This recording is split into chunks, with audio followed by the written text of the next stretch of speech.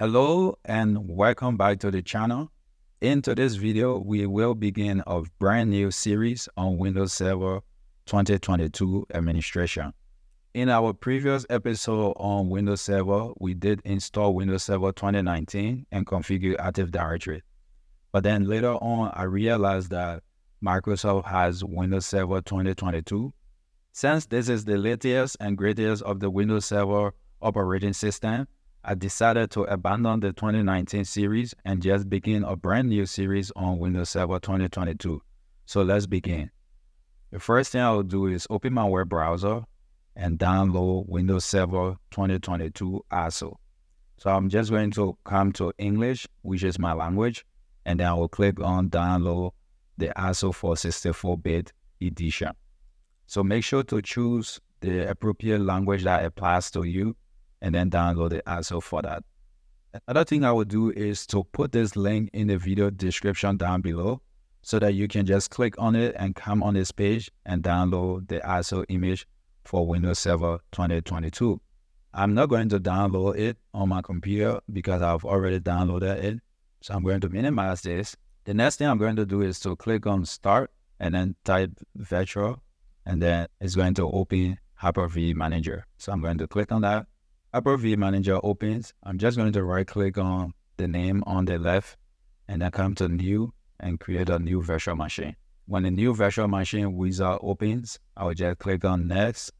And for the name, I'm just going to type Win 2022, just put DC for domain controller 01. And I'll put the next. I'm just going to put the processor to generation 2 and click on next. I'll just keep it to full gig memory and keep it to use dynamic memory and then click on next. I'm going to connect the network to the default switch and click on next. I'm just going to keep the information for the virtual hard disk to what is here by default and also for the default hard drive size of 127 gig. I'm just going to leave those there and then click on next. And for the operating system, I can click on install an operating system as for the ISO image. So I'm going to search for server 2022 ISO. So I have it. I'm just going to right click on that, click open path. I'm just going to select that with control D, control C to copy, minimize this, minimize this. Click here, paste that link, press enter. It's going to bring me straight to that. I'm going to click on the Windows Server 2022. I'm going to click on Open. I will click on Next. Then this is just a summary of everything that we have selected so far. And I will click on Finish. And then we'll get the virtual hard disk. Now I'm getting an error message. Anyway, I'll click on Close. I will just click on Install Operating System later. Click on Next. Click on Finish. And just right click on it click on settings. Let's look at a few things. Security. Make sure I activate trusted platform and then keep it this special this is okay. Memory is okay, processor is fine.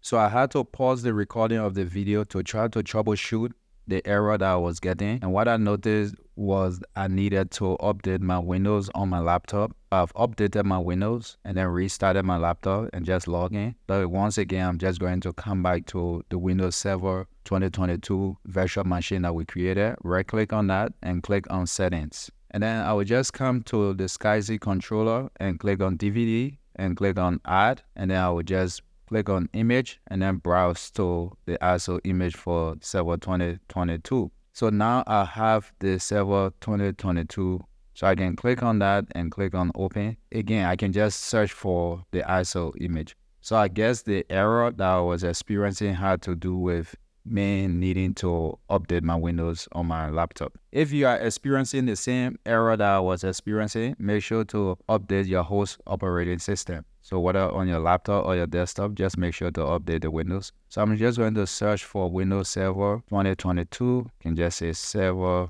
2022 and then right click on this, click Open Path. And then what I usually like to do is just to press Alt and the letter D. It highlights everything here. And then I just press Control C to copy. I'll minimize that and then I'll minimize this and then I'll just come here and click and Alt and D and press Control V to paste and press enter, it will just take me straight to that location. And then uh, we just click on the Windows Server 2022 and click on open. And I'll click on apply and click on OK. Yeah, so yeah, my Windows just needed to be updated. So I'll right click on this and click on connect. It's going to open this window and I'll click on start to start my virtual machine. I'm just going to maximize it by clicking in the middle and I'll just allow it to boot up and going to begin the installation of Windows Server 2022. So just like Windows Server 2019 that we installed in our previous Windows episode, this pretty much going to be a very similar installation process. So at the very first screen, you have the option to select the language that you want to install the operating system in, and then it gives you the second option to set the time and the currency format, and your third option has to do with just the keyboard layout that you are using. So for me, I'm just going to keep it to English US and then time currency as English US. Even though I'm in Canada, I don't think it has English Canada.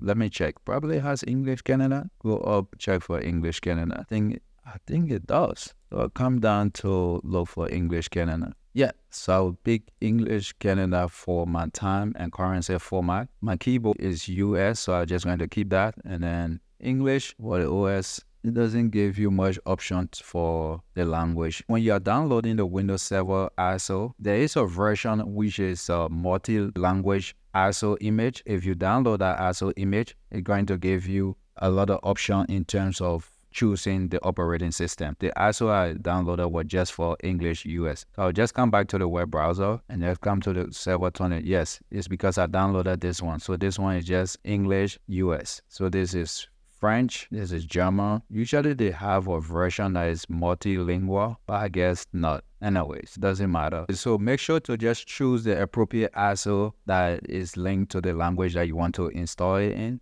and then you are good to go. So I'm just going to minimize it, come back, I'll click on next, I'll click on install. It's pretty much similar to 2019. So let's go through it and see maybe there will be a few differences or probably not. We will see. So we're just going to give it a few seconds and allow it to start up.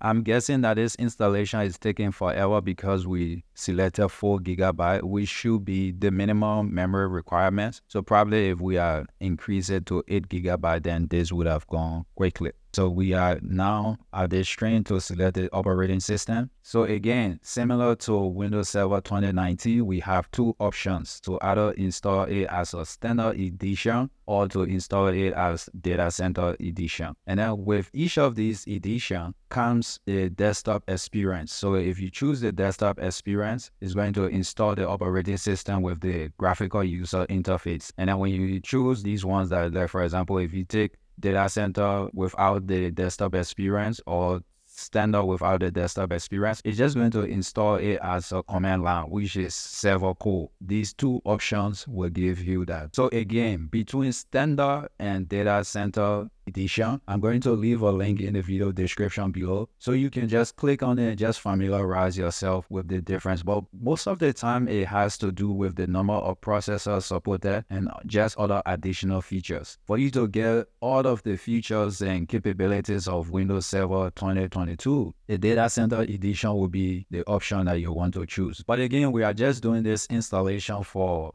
evaluation purposes. So for us, we will choose data center edition but make sure if you are doing it in a production environment, your choice here will actually be dependent on the license that your company provides you with. Also, we'll click on Data Center Edition and Desktop Experience just to have the complete graphical user interface. So click that and click Next. And then you can take your time to read through the end user license agreement, to accept the agreement and click next. At this stage, you will click on upgrade if there's an existing operating system. Like let's say we have Windows Server 2019 and you want to upgrade, you would pick upgrade. Well, since it's a new installation, we'll take custom. But usually also with my experience with Windows, for upgrade, you wouldn't do it like this. Usually you will boot up the existing operating system, log in, then from within in the operating system, you insert the DVD and then you launch an installation from within to upgrade. So I don't know whether Microsoft has changed that, but usually for upgrade, it has to be done from within the operating system instead of from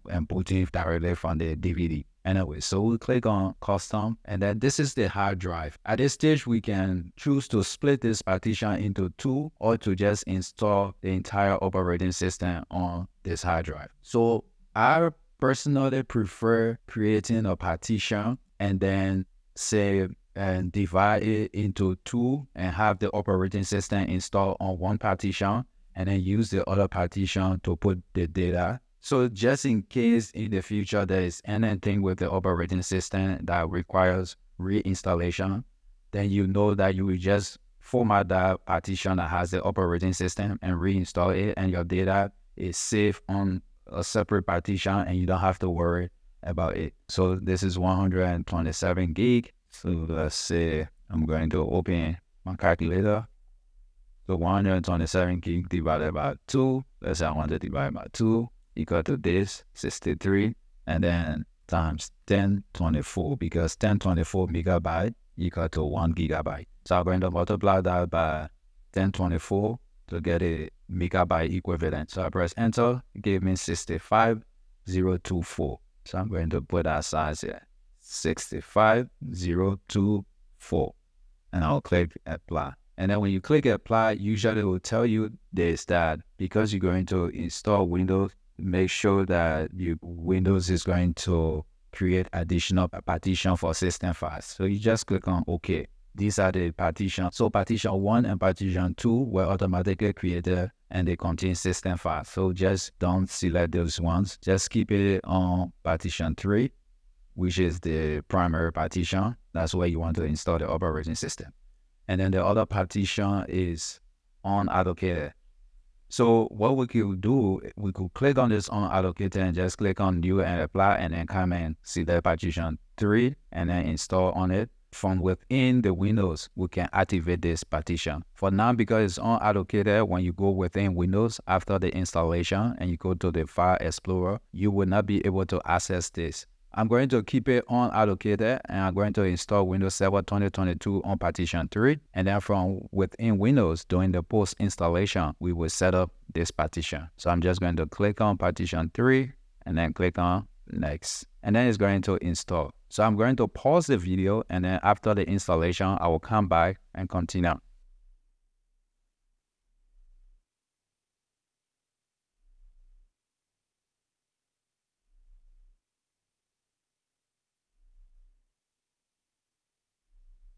So as you notice, the Windows Server 2022 installation has completed. So the server is just going to restart.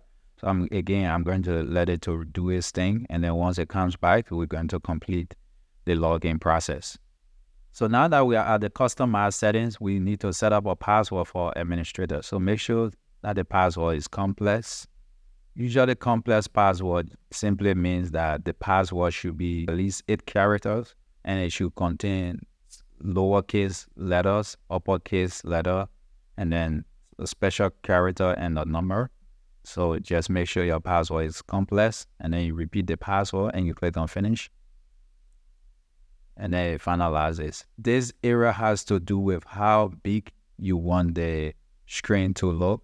So I'm going to drag it up so that it can be full screen and I click on connect. And then I'm going to put my administrator password and press enter. Now my Windows Server 2022 is loading up. So I'm just going to minimize it while it's doing its thing. I'm just going to click on media, come to DVD and inject the ISO image from it. Once I've injected the ISO, I'm just going to maximize it, close this, just going to click on local server and then it's going to bring me to the properties of this computer. And then when we look at it, we can see here that we have installed Windows Server 2022 Data Center Evaluation Edition. And then, yes, the hard drive is 62 gig. The installed memory is here and all this information as well. So I'm just going to minimize this. I'm going to open my File Explorer and then I will click on this PC and you'll notice that it just has drive C. So it's not showing the other partition because that other partition is unallocated. In the next episode, we will do a post installation configuration of the Windows Server 2022. This brings an end to this video and I will see you in the next video. Bye.